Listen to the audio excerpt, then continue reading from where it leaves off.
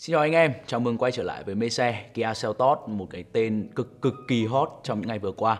Anh em có thể nhìn thấy cái lượng tương tác cũng như là lượng view trên kênh Mê Xe thì cũng đã lý giải được phần nào cho sức hút của Kia Seltos rồi. Rất nhiều người mong ngóng, rất nhiều người bàn luận và thậm chí là có một số người đã đặt cọc chiếc xe này rồi. À, chúng tôi cũng đã có ghi nhận những cái trường hợp là đã ký hợp đồng để mua Seltos rồi dù uh, chưa được sờ chiếc xe, thậm chí là những cái thông số, những cái công bố về chiếc xe nó cũng chưa quá rõ ràng xuất hiện ở trên mạng. Theo tôi thì có bốn cái điểm sau làm nên sức hút của Kia Seltos. Thứ nhất đó là thiết kế quá đẹp. Tôi chưa thấy ai chê thiết kế của Kia Seltos cả. Dù biết rằng là cái phạm trù thẩm mỹ nó là cái quan điểm rất riêng của mỗi người. Thứ hai là cái mức giá bán hấp dẫn về mặt thị giá, về mặt mắt nhìn, cảm nhận nhé. Thứ ba, đây là một chiếc xe rộng rãi. Thứ tư là đây là một chiếc xe có cửa gió điều hòa cho hàng ghế thứ hai. Trong video ngày hôm nay tôi muốn ngồi xuống với anh em để uh, điểm qua những cái phiên bản của Kia Seltos và chúng ta sẽ cùng bàn luận xem là uh, nên chọn phiên bản nào là hợp lý nhất.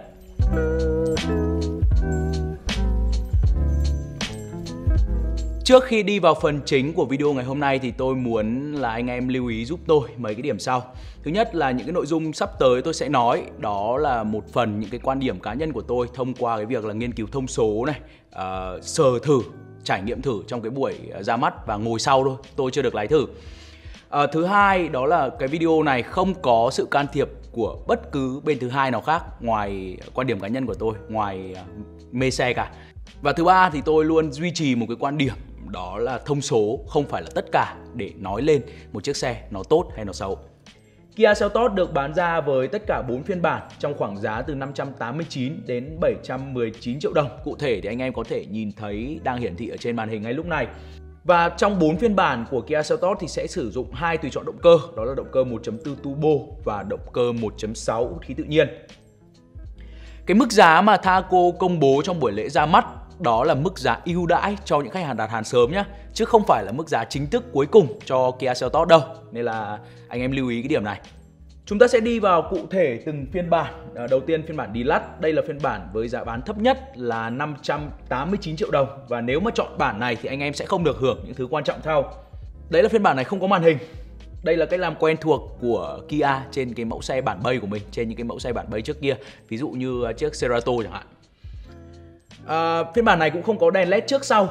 Có thể coi đây là sự đáng tiếc của Kia Seltos ở phiên bản này à, bởi vì thực sự là cái hệ thống đèn chiếu sáng trên Kia Seltos phiên bản cao nhất quá đẹp. Đó là quan điểm cá nhân tôi. Anh em nghĩ sao? Hãy chia sẻ với tôi ở phần comment. Không có làm mắt ghế à, chỉ có hai túi khí và chưa có cam lùi.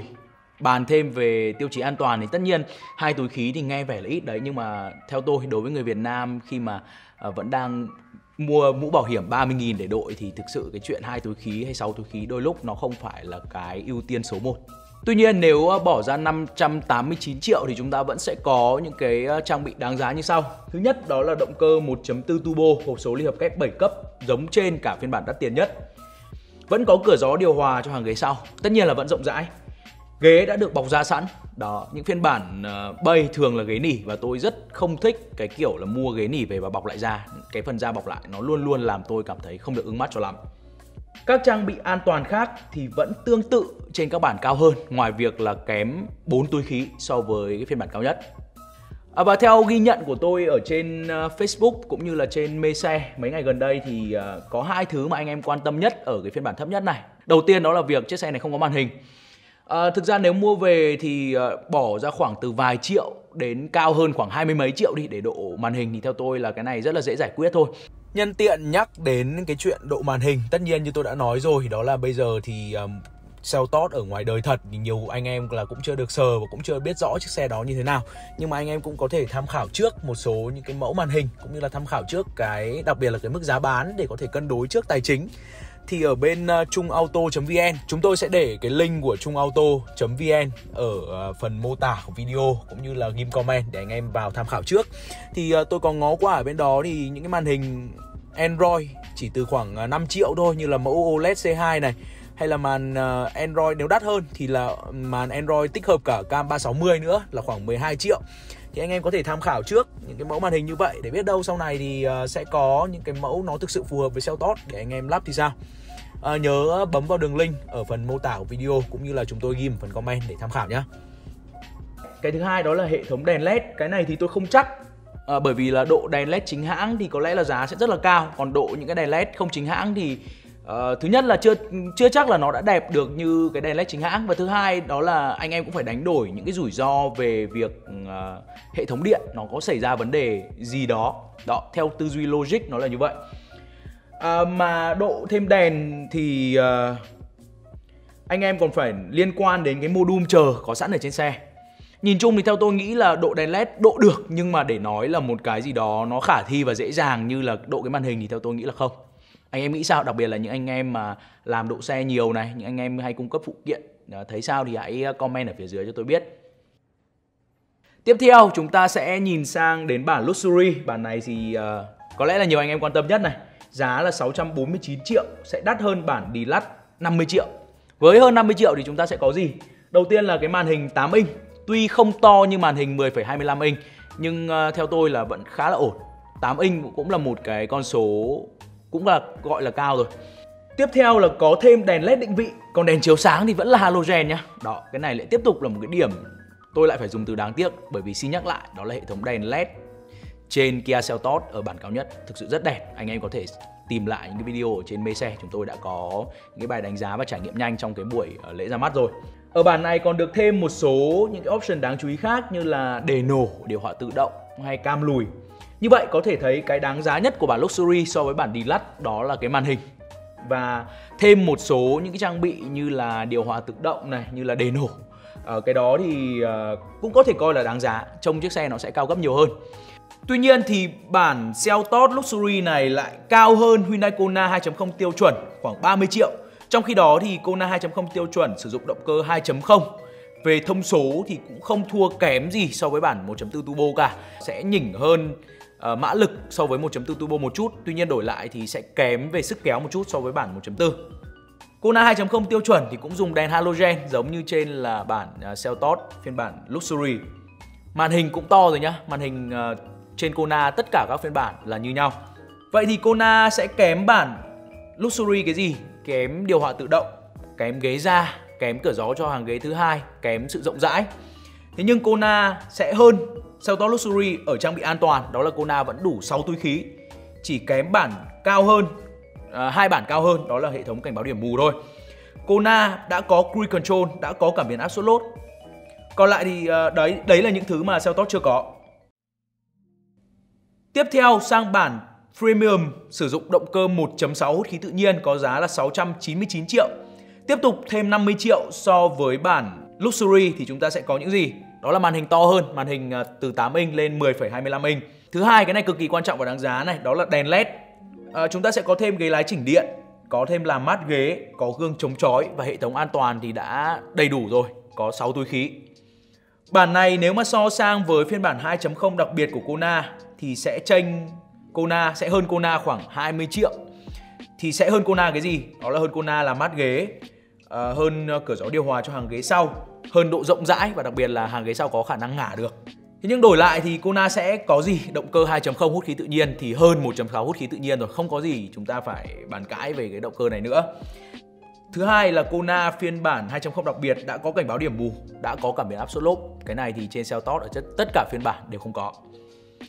Cuối cùng đó là bản Premium 1.4 Turbo giá 719 triệu đồng thì nó sẽ giống hệt với bản ờ, 1.6 Premium, nhưng mà sẽ hơn ở phần động cơ đó là sử dụng động cơ 1.4 turbo trên hai, giống như trên hai cái phiên bản thấp hơn mà tôi ờ, đã nói tới trong video ngày hôm nay.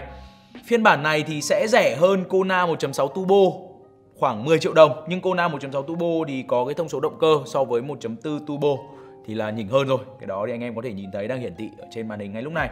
Ngoài việc là thua kém Kia Seltos về độ rộng rãi, về cửa gió sau, về khả năng làm mát ghế thì Kona sẽ hơn Kia Seltos phiên bản cao nhất. Ngoài cái động cơ ra thì sẽ là cảnh báo điểm mù, cảm biến áp suất lốp và cảm biến va chạm cả trước cả sau. Như vậy với tất cả những thông tin mà tôi vừa mang tới cho anh em về các phiên bản của Kia Seltos cũng như là có những cái so sánh đối chiếu nhanh với một số phiên bản của Hyundai Kona thì anh em sẽ lựa chọn phiên bản nào của Kia Seltos hay là lựa chọn Kona? Hãy bình chọn ở góc màn hình ngay bây giờ cho tôi biết. Còn uh, sau đây sẽ là quan điểm cá nhân của tôi. Uh, vậy thì Kia Seltos nên chọn phiên bản nào là hợp lý nhất? Theo tôi có hai lựa chọn. Một là anh em sẽ chọn cái phiên bản thấp nhất có giá 589 triệu về bỏ thêm khoảng 10 triệu để thay một cái màn hình cứ tính sơ sơ là anh em sẽ mất 600 triệu đi. Thì anh em sẽ vẫn được hưởng cái phiên bản động cơ đó là động cơ 1.4 turbo giống như trên bản premium cao nhất. Kiểu dáng vẫn đẹp vẫn có cửa gió điều hòa cho hàng ghế thứ hai. À, tuy nhiên đổi lại một chút thì không có đề nổ này không có điều hòa tự động thì nó sẽ làm chiếc xe kém sang một chút. Tuy nhiên nếu mà xét về cái độ thực dụng để sử dụng hàng ngày thì với tất cả những gì có ở trên Kia Seltos phiên bản Deluxe theo tôi là hợp lý. Hưởng hẳn giá rẻ. Thứ hai đó là anh em lên cái phiên bản 1.6 Premium, sử dụng động cơ 1.6 hút khí tự nhiên, thì anh em được hưởng full option này, màn hình to và đặc biệt là đèn led ở bên ngoài rất đẹp. Dù sao ấy thì tôi vẫn luôn duy trì một cái quan điểm đó là ô tô ở Việt Nam nó vẫn là một thứ trang sức ở miền Bắc, đặc biệt ở miền Bắc. Vậy nên là nhìn cái đèn led nó đẹp ở bên ngoài nó sẽ là một cái thứ mà nó mang lại giá trị rất lớn cho anh em khi mà anh em ờ, đi xe ngoài đường. Theo tôi nghĩ là như vậy. Bên cạnh cái công năng chiếu sáng của đèn led so với đèn halogen tại sao không phải là chọn phiên bản premium 1.4 hay là phiên bản luxury? Bởi vì uh, hai cái phiên bản đấy nó sẽ nằm một cách rất là lỡ cỡ. Tức là với phiên bản uh, premium 1.4 thì giá nó lại ngang với Hyundai Kona 1.6 turbo rồi. Và Hyundai Kona 1.6 turbo có những thứ rất là đáng giá. Thứ nhất đó là cái động cơ 1.6 turbo đi kèm với hộp số ly hợp kép 7 cấp của Kona. À, thực sự cái vận động cơ đấy là một vận động cơ rất là mạnh mẽ. Thứ hai đó là Kona phiên bản 1.6 turbo sẽ có những cái tính năng an toàn mà nó rất là đáng giá và nó phục vụ cho cái sử dụng hàng ngày. Thứ nhất đó là cảnh báo điểm mù. Thứ hai là cảm biến áp suất lốp. Và thứ ba đó là Hyundai Kona đã có cả cảm biến va chạm khoảng cách trước sau. Còn tại sao không phải là bản luxury? Bản luxury uh, màn hình thì to đấy, nhưng mà lại vẫn là đèn halogen, chưa có đèn led. Và cái trang bị an toàn ở trên bản luxury nó cũng không hơn cái bản thấp nhất. Đó, với tất cả những lý do đó thì tôi ờ, theo tôi, một là anh em chọn bản thấp nhất, hai là chọn bản premium sử dụng động cơ 1.6 anh em nghĩ sao về các phiên bản của Kia Seltos nghĩ sao về những thứ mà tôi ờ, chia sẻ trong video ngày hôm nay? Nó mang góc nhìn nó khá là cá nhân. Thì hãy comment ở phía bên dưới để chúng ta cùng thảo luận thêm. Và xin nhắc lại đó là video này không có sự can thiệp của bất kỳ một bên thứ hai nào uh, vào nội dung. Anh em cứ yên tâm là như vậy. Đừng quên like share subscribe cũng như bấm nút chuông để không bỏ lỡ những video tiếp theo trên bến xe. Và anh em ờ, còn quan tâm về ờ, Kia Seltos những cái gì về Kia Seltos nữa thì hãy comment ở phía bên dưới để chúng tôi sẽ tìm hiểu và tiếp tục chia sẻ với anh em. Dù sao thì tôi cũng rất là vinh dự có cơ hội được uh, sờ được nhìn thấy chiếc Kia Seltos ở ngoài đời rồi, chưa được lái thử nhưng cũng đã được ngồi thử rồi. Thì à, anh em còn quan tâm gì nữa thì biết đâu, tôi cũng có thể mang tới cho anh em những cái gì mà tôi đã được trải nghiệm rồi. Xin chào và hẹn gặp lại trong những video tiếp theo.